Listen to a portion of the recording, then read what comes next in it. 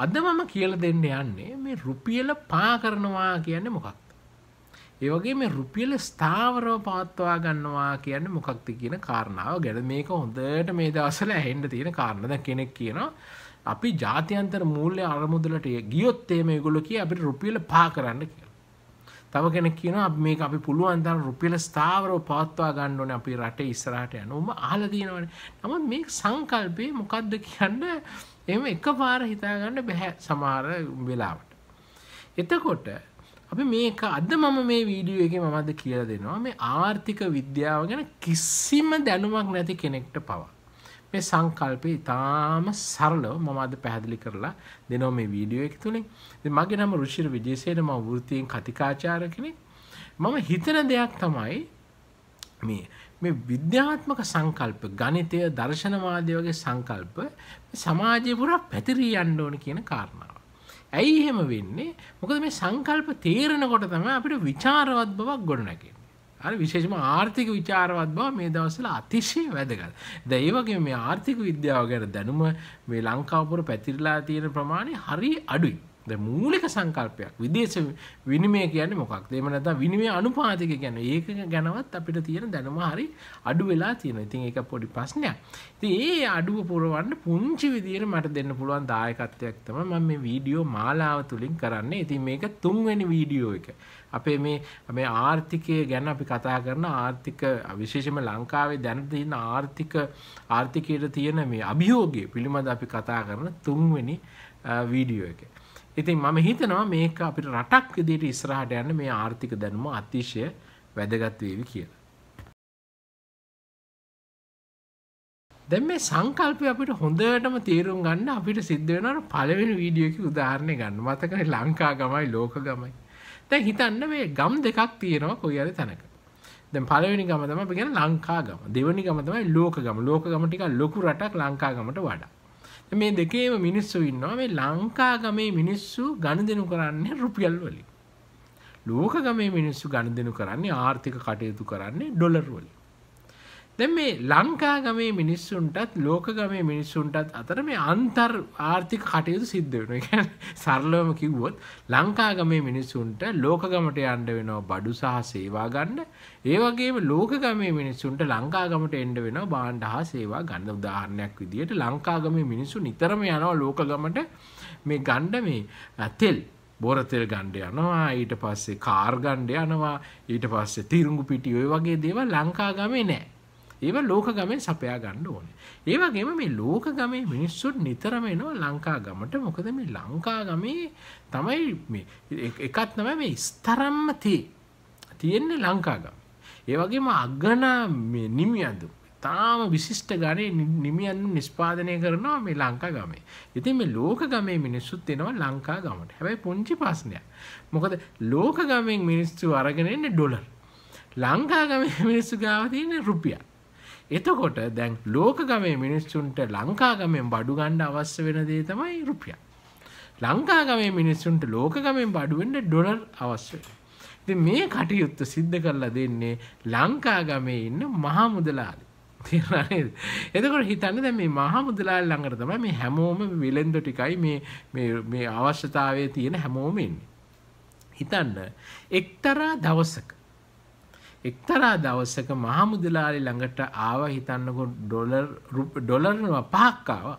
Dollar පහක් ගාව ලංකා ගමෙන් භාණ්ඩ හා සේවා ගන්න ඩොලර් පහක් අරගෙන ආවා. මේ ලංකා ගමෙන් ලෝක ගමට බඩු ගන්න අවශ්‍ය වෙන ඒව දේව ගන්න රුපියල් 1000ක් අරගෙන ආවා. එතකොට එතකොට අර මහමුදලාලි ලංකා ගමේ මහමුදලාලි දෙගොල්ලන්ට කතා කරලා තියෙනවා කියනවා මේ බලන්න මට අද මේ ගණදනුව විසඳන්න වෙන්න මෙහෙමයි. මම රුපියල් දෙසීයකට එක ඩොලර් එකක් දෙපැත්ත අතර හෝ මාරු කරලා දෙන්න. මෙන්න මේක තමයි මහමුදලාලි කරන්නේ. එතකොට ඕගලන්ට පේනවද මේ ඩොලර් එකක් රුපියල් දෙසීයකට මිල්ල නියම වුණ අපි මේකට කියනවා විනිමය අනුපාතිකය කියලා මේ විනිමය අනුපාතිකය තීරණය වෙන්නේ කොහොමද කියන එක ගැනයි මම ඇත්තට මේ පළවෙනි වීඩියෝ එකේ පුංචි මේ සමරි එකක් මේ ලුහුඬක් වශයෙන් මේක ඉදිරිපත් කළේ මොකද මේ සංකල්පය තීරුම් ගන්න අවශ්‍ය වෙනවා මේක ඉස්සරහට යන්න. අපි මේක විනිමය අනුපාතයේ පළවෙනි වීඩියෝ එකේ විස්තරාත්මකව තව තව සංකල්ප සහිතව කතා කරා. හරි. දැන් ඔන්න ඔයගලන්ට පේනවද එක කාරණාව. ඒක තමයි මේ විනිමය අනුපාතිකය කියලා මොකද උනේ? රුපියලට යම්කිසි නියමයක් ආවා ඩොලර් සමග සම්බන්ධ වෙන සමීකරණයක්. ඒ කියන්නේ ඩොලර් එකක් කියන්නේ රුපියල් 200ක් කියන. එතකොට මෙන්න මේකෙන් ඔයගලන්ට පේනවද මේ ඩොලර් එකක අගය රුපියල් වලින් තීරණය වුණා. තේරෙනවද? ඔන්න මේක අතිශය වැදගත් මේ සංකල්පය තේරුම් ගන්න අපි ඊළඟට මේ රුපියල පාවීම සහ ඩොලර් ගැන මේ රුපියල ස්ථාවර කිරීම ගැන කතා කරන්න ඉස්සරහට යනකොට. දැන් මේ කාරණාව දිහා හොඳට ඔගොල්ලෝ බැලුවොත් ඔයගලන්ට කාරණා දෙකක් පැහැදිලිව පේනවා. දැන් මොකක්ද මේ මේ උනේ මෙතන මේ ඩොලර් එකක වටිනාකම රුපියල් වලින් තීරණය වෙච්ච දේ නේ මේ වටිනාකමට ඉහළට යන්න පුළුවන් පල්ලෙහාට යන්න පුළුවන්. හිතන්න ඔන්න එක දවස් දැන් කලින් ආවේ කොහමද? රුපියල් 1000යි ඩොලර් 5යි. එතකොට ඩොලර් එක වටිනාකම රුපියල් 200ක් බවට පත් වුණා. හිතන්න එක්තරා දවසක එනවා රුපියල් 600ක් එනවා මහමුද්‍රාය ළඟට ලෝක ගමෙන් බඩු ගන්න ලෝක ගමෙන් එනවා ඩොලර් 6ක්. ඒ කියන්නේ ඩොලර් ගාන වැඩි වුණා රුපියල් ගාන අඩු වුණා. එතකොට මොකද අර මහමුදලාලි එදා කියනවා දැන් ඔන්න රුපියල් 600ක් ආව ඩොලර් 6ක් ආව එහෙනම් එදාට යා කියනවා මේ බලන්න මට පුළුවන් ඩොලර් එකක් එකක් දෙන්න රුපියල් 100ට පුළුවන් කියන්නේ නේ අන්න ඔය විදිහට අපිට කියන්න පුළුවන්. ඕක තමයි එහෙනම් මොකද උනේ අර ඩොලර් එකක් ගන්න අවශ්‍ය වෙන රුපියල් ගාන අඩු වුණා. මෙන්න අපි මේකට කියනවා මේ රුපියල ශක්තිමත්. මොකද රුපියල් පොඩ්ඩයි ඕනේ ඩොලර් එකක් ගන්න. තේරුණානේ රුපියල් 200ක් කලවම් ඕන වුණා දැන් රුපියල් 100කින් පුළුවන්. අන්න රුපියල ශක්තිමත් වුණා කියලා කියන. රුපියල ශක්තිමත් කරනවා කියලා කියන්නේ ඔන්න ඕක තමයි ඒ ඒ කතන්දරේ. හරි. ඒතර ඒක කොහොමද උනේ? එන ප්‍රමාණය ඩොලර් මේ මේ ලංකා ගමට එන ප්‍රමාණය වැඩි වෙලා ලංකා ගමෙන් රුපියල් එලියට යන ප්‍රමාණය අඩු වෙනවා නම් එන රුපියල ශක්තිමත් වෙන මේ සාමාන්‍ය සරලම විදිම කියන්නේ ඕකේ එන එක අංක එක. එන රුපියල ශක්තිමත් වෙන්න පුළුවන්. ඊළඟට වෙන්න පුළුවන් දේ තමයි මේ රුපියල බාල්දු වෙන්න පුළුවන්. ඒ කොහොමද වෙන්නේ? හිතන්න එක දවසක මහා මුදලාලි ගඟට එනවා රුපියල් 1200ක් ලෝක ගමෙන් බඩු ගන්න කියලා. ඊට පස්සේ ඩොලර් ලෝක ගමෙන් එනවා ඩොලර් 4ක් දැන් කලින් ආවේ 5යි දැන් එන්නේ 4යි කලින් රුපියල් ආවේ 1000යි දැන් එනවා 1200ක්. දැන් මොකද වෙන්නේ? එතකොට ලෝක ගමේ මුද්‍රාරි ඔළුව කසලා කියනවා මේ බලන්න අද මට ආව රුපියල් 1200ක් ආවේ ඩොලර් 4යි. මට අද ඕගොල්ලන්ට සිද්ධ වෙනවා මෙන්න මෙහෙම කරන්න. මට රුපියල් 300කට තමයි අද ඩොලර් එක දෙන්න වෙන්නේ. එතකොට මොකද උනේ? අර ඩොලර් ගාන වැඩි මේක රුපියල් ගාන වැඩි වුණා ඩොලර් එකක් ගන්න. රුපියලේ ශක්තිමත් බව අඩු වුණා කියලා කියනවා. එහෙනම් රුපියල බාල් දුනා කියලා කියනවා. තේරුණා නේද? අන්න. එහෙනම් රුපියල ශක්තිමත් වීමත් රුපියල බාල්දු වීමත් ওই විදිහට අපිට අඳුර ගන්න සිද්ධ වෙනවා. දැන් මම කියලා දෙන්න යන්නේ මේ මොකද්ද මේ රුපියල පා වෙනවා කියන කාරණාව ගැන. දැන් ඔයගලන්ට පේනවද? මේ ඩොලර් එකක අගය රුපියල් වලින් තීරණය වුණේ අර මහා මුදලාලි ළඟට එන ඩොලර් ගානත් රුපියල් ගානත් මත. ඒක තීරණය වුණේ කොහොමද? අර භාණ්ඩ හා සේවාවල රටවල් දෙකේ තියෙන අවශ්‍යතාවය මත. තේරුණා නේද? එහෙනම් ඒ භාණ්ඩ හා සේවාවල තියෙන අවශ්‍යතාවය මත මේ රුපියලේ අගය විචල්්‍ය වෙනවන වෙනස් වෙනවනන් නිතරම අපි කියනවා ඒ ඒ මත පදනම්ම පමණක්. මේ ඩොලර්වල මේ සැපයුමත් ඩොලර්වල මේ ඉල්ලුමත් මගින් මේ රුපියල් සහම සම්බන්ධව මේ එහි ඩොලර් එකක වටිනාගම තීරුම් තීරණය වෙනවා නම් අපි කියනවා රුපියල පාවෙනවා කියලා ඇයි ඒ හිතන්න දැන් සරුංගලයක් අපි කියන පාවෙනවා කියලා. ඒතර සරුංගලයට හුළඟක් එකපාර බැදුවොත් එකපාර නිකන් ලොකු උලම් පාරක් ඇවිල්ලා සරුංගලේ උඩට යනවා. හුලන් නැත්තම් මොකද වෙන්නේ? සරුංගලේ පොඩ්ඩක් පල්ලෙහාට. එහෙනම් මේ මේ මේ කියන්නේ මේ වෙළඳ පොළ කාරණා මත ඉල්ලුම සහ සැපයුම මත තමයි කොහොමද රුපියල තීරණය වුණේ. අපි පාවෙන රුපියලක් ඇති වෙනවා කියලා ඔන්න ඕකට තමයි රුපියල පාවෙනවා කියලා කියන්නේ. හරි දැන් මේක ඊළඟ පියවරට අරගෙන යමු. දැන් මම කිව්වා මේ ලංකාගම කියන්නේ හරි පුංචි ගමක් ලෝක ගම ටිකක් විශාල ගමක්. මේ ලංකාගමෙන් නිතරම මිනිස්සු විවිධ දේවල් ගොඩාක් දේවල් වලට ලෝක ගමට යන්න සිද්ධ වෙනවා. දැන් විශේෂයෙන්ම දැන් මම කිව්වා දැන් කලින් පළවෙනි වීඩියෝ එකේ මේ ලංකාගමේ විවිධ නිෂ්පාදන කරන කෘෂි කර්මය කරනවා. මේ වේවැල් පුටු හදනවා. ඊට පස්සේ කුඹල් කර්මාන්තය කරනවා. විවිධ පුටු හදනවා. ඇඳුම් මහනවා. ඒ වගේ කාරණා සිද්ධ කරනවානේ. මේ සාකාරණාවලට ගොඩාක් අමුද්‍රව්‍ය මොකද කරන්නේ අර පිට රටෙන් අර ඩොලර් වලින් ඩොලර් දීලා ගේන්න වෙනවනේ ලෝක ගමින් ගේන්න වෙනවා. දැන් මොකද වෙන්නේ? දැන් මේ වගේ අර හුළඟේ පාවෙන සරුංගලයක් වගේ උඩටයි පල්ලෙහාටයි යන මේ විනිමය අනුපාතකයක් තියෙනකොට මේ අර ලංකා ගමේ ඉන්න මිනිස්සුන්ට මේක හරි හිසරදයක්. තේරුණා නේද? මොකද ඔන්න අද ගියාම කියනවා ඩොලර් එකක් රුපියල් 200යි කියලා. අනිත් දවසේ ගියාම කියනවා ඩොලර් එකක් රුපියල් 100යි කියලා. අනිත් දවසේ ඩොලර් එකක් රුපියල් 300යි කියලා. මේක හරි කරදර. මොකද අර එන එන මොකද ගොඩාක් භාණ්ඩ එනවා. ඒ නිෂ්පාදන පදනම් වෙන්නේ ලංකා ගමේ ඒ ගේන භාණ්ඩවල ඒ භාණ්ඩවලට දෙන්න ඕන රුපියල් ගාන ඉහළ යනවා. පල්ලෙයා යනවා. හරි කරදරයක්. මිනිස්සුන්ට හරියට ව්‍යාපාරයක් කරගන්න බෑ. එක දවසක තිරුඟු පිටි මෙච්චරයි. අනිත් දවස කියනවා තිරුඟු පිටි මේ හරි අඩු වෙලා. දැන් මේක මොකද වෙන්නේ? මේ මේ අර ඒ ලංකා ගමේ ඉන්න මේ පුංචි බේකරි මෙයට හරියට ව්‍යාපාරය සැලසුම් කරගන්න බෑ. මුළු ලංකා ගමටම මේක බලපා.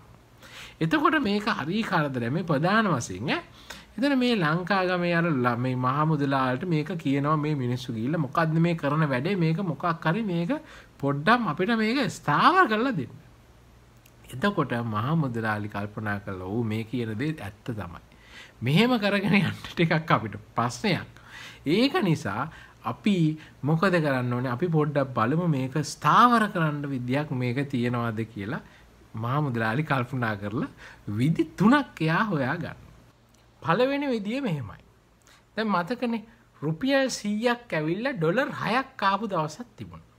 කියන්නේ රුපියල් ගාන අඩු වුණා ඩොලර් ගාන වැඩි වුණා. තේරුණා නේද? එතකොට මොකද ගියේ එදා ඩොලර් 1 රුපියල් 100 ගානේ ගියා. මේක එකපාර රුපියලේ ශක්තිමත් වීමක් වුණේ. මහා මුදලාලි ඔය වගේ දවසකට කරනවා මෙන්න මෙහෙම දෙයක්. එයා මොකද කරන්නේ? එයා ගාවත් රුපියල් සහ එයා ගාව ඩොලර් පොඩ්ඩක් තියා. මේ වෙනකොට සංචිත කියලා. ඒ වගේම රත්තරන් ඔය වගේ වගේ දේවල් ටිකක් මෙයා ගාව වටිනා කියන භාණ්ඩ තියෙනවා. දැන් රත්තරන් ගත්තාම රත්තරන් වහාම රුපියල් කරන්නත් පුළුවන්. වහාම ඩොලර් කිරීමේ හැකියාවකුත් තියෙන. තේරුණානේ?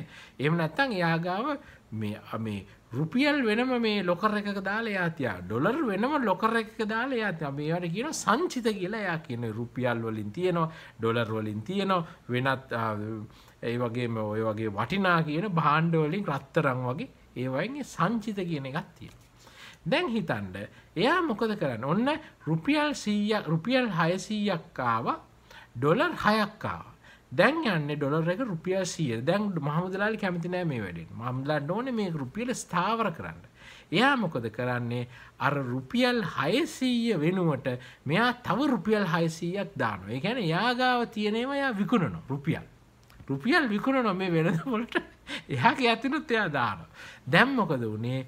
රුපියල් හයසීය දැන් එක්නාස් දෙසීය වුණා. ඩොලර් හය එලෙසමයි. එහෙනම් නැවත රුපියල දෙසීයට බැස්සුව. ඒ ගැන ඩොලර් එකක වටිනාකම රුපියල් දෙසීයට බැස්සු. තේරුණානේ අංක එක. ඊළඟට හිතන්න අනිත් දවසේ මොකද උන්නේ ඔන්න රුපියල් එක්දස් දෙසීයක්කාව ඩොලර් හතරයියාවේ ඩොලර් රුපියල් ගාන වැඩි වුණා ඩොලර් ගාන අඩු වුණා. විතොර යන්නේ කොහොමද රුපියලක් කියන්නේ ඩොලර් එකක් රුපියල් තුන්සීයට යන්න. තේරුණානේ එතකොට දැන් මේකටත් කැමති නෑ මහමුදලාලි. එතකොට එයා මොකද කරන්නේ? එයා ගාව තියෙන ඩොලර් ටිකක් එයා එයා ඩොලර් ටිකක් මිලදී ගන්න. තේරුණානේ ඩොලර් ටිකක් මිලදී ගන්න. ඒක මේ විලඳ පොට දාන. එම නැත්නම් රත්තරන් ටිකක් මේව කරලා මේ ඒකෙන් ඩොලර් ටිකක් මිලදී ගන්න. තේරුණානේ අරගෙන මේ ඉක්වේෂන් එකට දානවා. දාලා මොකද කරන්නේ? එයා ඩොලර් ගාන 6 දක්වා 4 එක 6 දක්වා වැඩි කරගන්න. එතකොට මොකද වෙන්නේ? අංක එක එහෙනම් පළවෙනියටම එයා එතකොටත් ඇවිල්ලා රුපියල් 200කට මේක ස්ථාවර කරගන්න. තේරුණා නේද? එහෙනම් මේ විදේශ විනිමය එහෙම නැත්නම් විනිමය විකිණීමෙන් එහෙම නැත්නම් ලබා ගැනීමෙන් මේ ස්ථාවර කිරීමේ හැකියාව ලැබෙනවා මේ විනිමය අනුපාතකය කියන එක අංක 1 පළවෙනි විදිය. ඔන්න ඕක තමයි පළවෙනිම විදිය. දෙවනි විදිය තමයි මේ මහමුදලාලයට කියන්න පුළුවන් මහමුදලාලි ගාව ඉන්න මහමුදලාලි ලංකාගමේ මහමුදලාලිය ලොකුම මුදලාලි. හරි ඒ වගේම මේ පොඩි පොඩි මුදලාල්ල ගඟ තියෙනවා. ඒගොල්ලෝ කියනවා මේ ඕගොල් මෙහෙම දෙයක් කරන්න. මේ පොඩි මුදලාල්ල සේරම කතා කරලා මහමුදලාලි කියනවා ලියුමක් හරි මොකක් හරි යවලා කියනවා මේ ඕගොල්ලෝ මේ රුපියලට දෙන පොලි අනුපාතිකේ වැඩි කරන්න. ගැන් දැන් කලින් සීයට පාග පොලියක් දුන්න නම් අපි දෙනවා සියට දොළහක් පොලිය එතකොට මිනිස්සු මොකද කරන්නේ? රුපියල් තියෙන තාක්ක රුපියල් ගිහිල්ල මොකද කරන්නේ? පුළුවන් තරම් ඉන්වස් කරන්න.